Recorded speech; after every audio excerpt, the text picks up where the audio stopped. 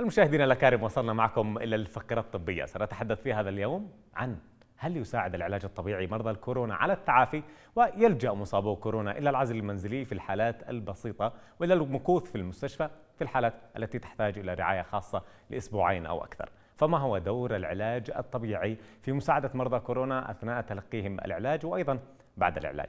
للحديث أكثر عن هذا الموضوع وتوصيل الفكرة الأبسط عنه أيضا يسعدنا نرحب معنا في الاستوديو بأخصائية العلاج الطبيعي إناس الطريفي. أهلا وسهلا فيك ستي إناس أهلا فيك أهلا يا. مرحبا. يعني شوي الموضوع عندنا محتاج إن إحنا نفهم منك أول حاجة. إيش علاقة العلاج الطبيعي بفيروس كورونا؟ ولكن قبلها نوضح أو نفهم إنه آه، من هم الأشخاص عموما الأكثر عرضة للإصابة بفيروس كورونا؟ نعم بالبداية كلنا بعرضة للإصابة بهذا الفيروس لا قدر الله ولكن الأكثر تعرضا بالأعراض للمرض هم كبار السن والأشخاص اللي عندهم أمراض مزمنة كامراض القلب أو الرئتين واللي عندهم نقص في المناعة نعم يعني كذا عن نربط الموضوع إنه نقص المناعة هم نعم. آه، الناس اللي بيعانوا منها آه، هم, هم الأكثر عرضة ناس لهذا تعرضا. بأثار المرض. طيب ما هي الأعراض اللي بترافق مصابي كورونا عادة نعم أعراض المرض معروفة صارت لدى الجميع هي الصداع ارتفاع درجات الحرارة درجة حرارة الجسم. آه، الكحة الناشفة تعب عام بالجسم. آه، عندنا ألم بالمفاصل والعضلات. آه، فقدان حاستي التذوق والشم. مش لازم المرض يعاني من كل هاي الأعراض ممكن يعاني من عرض واحد أو أكثر.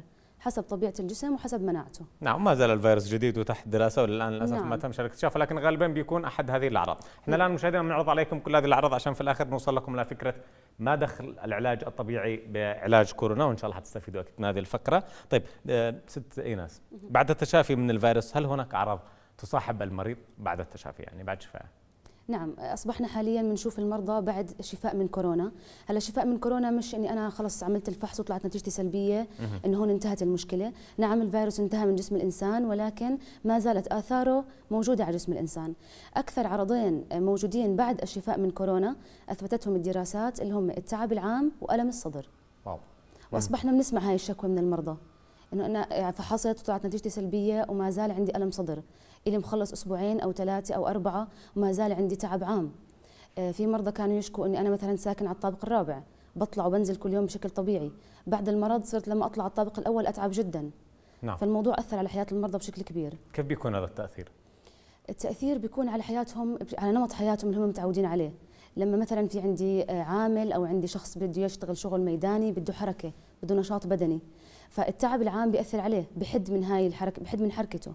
ألم الصدر هو أمر مزعج جدا بي- بيعيق المريض من ممارسة حياته اليومية بيصحي المريض من النوم ممكن يخلي المريض يجلس بوضعيات خاطئة مشان يريح حالة من الألم فيسبب مشاكل. مهم. فهذا. الحكي جدا بيأثر طيب عشان نفهم منك الآن وصلنا للنقطة الأهم إنه نعم. العلاج الطبيعي اللي حضرتك مختصة فيه ودراساتك أيضا في الماجستير نعم. ما شاء الله مختصة في نفس المجال وحتى يمكن في مجال شوي مختلف عن الرئة مثل ما كلمتينا قبل الهواء نعم آه والتنفس حتى فنعرف منك في البداية كيف يسهم العلاج الطبيعي. إذا في حل هذه المشاكل وكيف يكون حتى هذا العلاج؟ نعم هو موضوع جديد والناس رح تستغرب شو علاقة العلاج الطبيعي بالكورونا. مشان هيك الماجستير اللي عم بحضره عن العلاج الطبيعي للجهاز التنفسي تحديدا. نعم. وكونه هاي الجائحة حاليا موجودة فهي أهم شيء بخص الجهاز التنفسي. هلا آه، ألم الصدر اللي بنتج عند المرضى بعد الشفاء من كورونا هو ناتج من شغلتين ناتج من الفيروس نفسه وناتج من تشنج عضلات الصدر. أغلب المرضى بصاحبهم كحة ناشفة. فمن كثر الكحة بصير عنده تشنج في عضلات الصدر والتشنج هذا بيستمر. عضلات الصدر زي أي عضلات في الجسم بصيبها تشنج فبتضل الألم حتى بعد الشفاء. كذلك التعب العام الفيروس بسبب تعب عام ومجرد عدم قدرة المرضى على الحركة معزول بالبيت فما عنده هذاك ال activity وهذاك النشاط فبصير عنده تعب عام وبخسر من الكتلة العضلية طول ما هو ما عم يتحرك بالشكل الطبيعي. فالعلاج الطبيعي في لنا دور في المستشفيات أثناء تلقي العلاج ولكنه دور بسيط بالنسبة لدورنا ما بعد الشفاء من كورونا. هلأ ألم الصدر بنشتغل عليه بالعلاج الطبيعي عشان نرخي هاي العضلات؟ في تمارين معينة تمارين استطالة لعضلات الصدر مشان أوسع هاي العضلات وأوسع مداها فأخفف من حدة الشد العضلي وبالتالي بخف ألم المريض. في patient education بدي أعلم المريض كيف الوضعيات الصحيحة اللي لازم يقعد فيها مشان يخفف من هذا الشد وما يعكس عليه بأثر سلبي إنه يعني يأخذ وضعيات سيئة للجلوس. كذلك التعب العام. التعب العام نتيجته آه، أو هو بيسبب نقص في القدرة العضلية للمريض فبالتالي بتعب عند بذل أي مجهود صغير. فبالعلاج الطبيعي في تمارين معينة نعم. aerobic exercise لازم نعملها للمريض ببروتوكول معين لنرجع القوة العضلية تبعته وأرجع القدرة الوظيفية للرئة. فالمريض بتحسن بصير عنده آه، قدرة أعلى لبذل المجهود. ببطل أنا أتعب لما أطلع كم درجة لا برجع لحياتي ال... كانت قبل الفيروس وأحسن كمان إن شاء الله. تماما. اذا إحنا حنستفيد منك. يعني معلش حتى لو مش هذيك الصورة الواضحة القوية اللي ممكن حد يتلقاها لو ما يجي عندكم في نعم. المركز. ولكن حنستفيد منك على الأقل الآن في الاستوديو. حتى الناس اللي ما أصابتش بكورونا مثلا الناس كان بيدخن كان بيأرجل نعم. كثير. صح؟ توقع هذا الموضوع كله حيفيدهم. طبعا. آه حيحاول إنه يحسن من صحة الرئة والجهاز التنفسي. فنعرف منك آه وضعيات آه نعم. تمارين بسيطة ممكن نعملها في المنزل حتى؟ نعم. هلا المرضى اللي بيكونوا آه سواء معزولين بالبيت أثناء إلى أثناء المرض نفسه في لهم تمارين خاصة وفي المرضى اللي بعد الشفاء. نحكي في البداية باللي معزولين جوا البيت. ما دام نسبة الأكسجين عندنا ممتازة أنا بفرض أنهم معزولين بالبيت إذا ما عندنا نقص أكسجين مش بحاجة لدخول المستشفى بقدر أعمل تمارين رياضية تمارين الآيروبيك الطبيعية ممكن يكون المشي ممكن يكون تمارين مدى الحركة العادية اللي الركض في البيت أو الهرولة بشكل خفيف بتساعد. حتى الركض في وانت في مكانك نعم الركض في المكان. شيء بيشبه تمارين الصباح. آه تمارين التنفس هي أهم شيء للمريض بقدر أوصل له إياه بصورة بسيطة.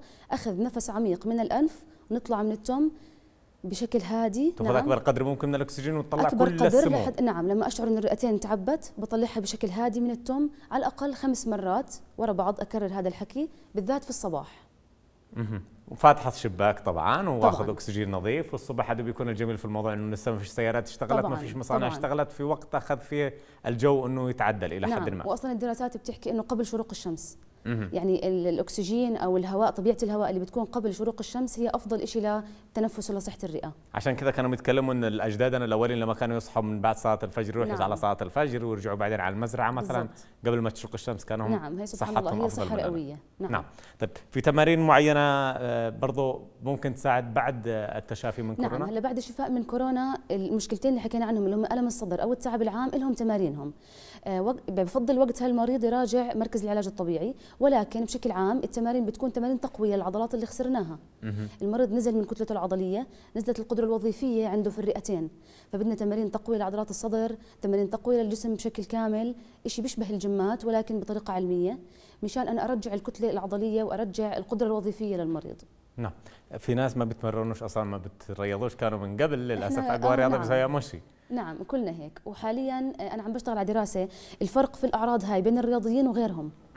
في فرق واضح طبعا. واصلا الرياضة والقوة العضلية بتعطي مناعة للجسم. فأنت لما تكون عندك قوة عضلية أو تكون رياضي أنت أقل عرضة للمرض الاصابه بالمرض. لو انصبت لا سمح الله فأقل تاثرا بالأعراض. وبعد ما تطيب أقل تاثرا بالأعراض ما بعد الشفاء. نعم. فأكيد القوة العضلية والرياضة شيء كثير مهم. طيب ستي ناس حضرتك تكلمت إنه اللي بيتعرض للحجر الصحي لمدة أسبوعين مثلا لو بيتعرض نعم. للكورونا بيفقد كتلة عضلية. نعم. بتتفاوت طبعا من شخص إلى آخر. طبعا. كيف ممكن إنه يرجعها اللي فقد هذه الكتلة العضلية حتى رياضي أو غير رياضي؟ نعم. وكم يحتاج وقت؟ كم حتى جرام ممكن مثلا جينات بتتدخل؟ تفاصيل. نعم. أول شيء بيحكم كيف كان وضع المريض أو قدراته العضلية قبل الاصابه بالمرض الرياضي غير عن الرياضي. الشغلة الثانية بتحكم كيف كانت طبيعته بالعزل. هل هو كان حرك كان عم يعمل تمارين ويتحرك وبيقوم آه، بالأنشطة البيتية خلينا نحكي أو كان هو لا خلص في الفرش وفي التخت وما عم يبذل أي مجهود. هذا الحكي بيحكم على تأثره أو كمية نقص الكتلة العضلية اللي راح تصير عنده. هلأ أول شيء مشان أمنع هاي النقطة لازم أعمل تمارين بالبيت. طول ما أنا عندي نسبة الأكسجين كويسة قادرة إني أنا أتحرك بالبيت أتحرك وأعمل تمارين لا تخافوا هذا شيء صحي. آه بعد الشفاء وبعد ما أنا خلص نتيجتي سلبية وطلعت لبرا في تمارين تقوية خاصة. لازم تنعمل بترجع المريض لقوته العضلية الطبيعية وأفضل كمان. نعم في حتى يمكن آه، في اليوتيوب في قنوات كثيرة جدا إذا واحد بحث 10 minutes workout نعم. 10 دقائق مثلا نعم. رياضة بيعلمكم تمارين أكيد موجودة في النت. طيب بالنسبة للكتله العضلية بتحتاج وقت طويل إن إحنا نرجعها؟ هذا بيرجع برضه لطبيعة الجسم ولكن بالعادة والعمر طبعا الشباب أسرع إنه ترجع كتلتهم العضلية من الأكبر سنا. ولكن برجع هذا الحكي لحسب الكتله آه، العضلية عنده طبيعة جسمه والتزامه بعد هيك بأداء التمارين. نعم. فبالعادة ما بياخذ وقت طويل إحنا بنحكي عن فترة من شهر إلى شهرين ثلاث حسب طبيعة المريض يمكن عند الحديث عن العضلات هي محتاجة حلقة طويلة خاصة نعم فيها ولكن كبير وشائك آه نقول إنه في ذاكرة عضلية عموما إنه حتى لو كانت عندك نعم. كمية العضلة بعد التمرين أو بعد بعد التوقف من بسبب كورونا مثلا أو غيره لمرض آخر أو حتى القعده نعم. في البيت ما في الشغل مثلا بعد العضلة بعد وقت معين بترجع أنا مش عارف كم حابب أعرف منك كم بالضبط الوقت ولكن عموما بترجع لوقتها نعم. لو مثل ما كانت قبل ما ترجع نعم بشكل عام المرضى عندنا لو كان مثلا مش كورونا أي شيء ثاني خسر كتلة عضلية معينة الشباب جدا سريع إنها ترجع كتلتهم العضلية. يعني ما شاء الله من أسبوعين لشهر المريض بتكون كتلته العضلية رجعت كاملة. فبتوقع بعد كورونا راح تكون الأمور شبيهة بذلك. تماما. طيب الناس اللي هم كبار في السن اللي تكلمتي عنهم إحنا حابين إنهم يقووا أيضا كتلتهم العضليه عشان الأربطة المفاصل نعم. غيرها كلها فمش معقول إنه يعملوا تمارين زي الشباب مثلا حيروح يعمل أكيد. وزن ويعمل بوش اب فإيش التمارين اللي بتنصحي فيها كبار السن عشان يحافظوا على كتلتهم العض- العضليه أو يزيدوا حتى من من ممتاز. حجمها. كبار السن هم الفئة المستهدفة لهذا المرض للأسف وهم أهم فئة بالنسبة لنا فبداية من لما يكونوا في المستشفى لا قدر الله إذا احتاجوا مستشفى بيكون هناك ما عندهم قدرة على الحركة أصلا وأنا في مستشفى و already نسبة الأكسجين عندي نازلة. ففي تمارين معينة بقوم فيها أخصائي العلاج الطبيعي بنسميها passive exercise إني أنا اللي بعمل التمارين للمريض. هو مرتاح أنا عم بحرك آه، مفاصله أنا عم بحرك عضلاته مشان أحافظ على المفاصل من التيبس أحافظ على العضلات طول ما هو جوا المستشفى ومش قادر على الحركة. بعد هيك تم شفاء وطلع على البيت المريض. برضه هناك في تمارين بنعملها بمساعدة المعالج أو بمساعدة الأهل.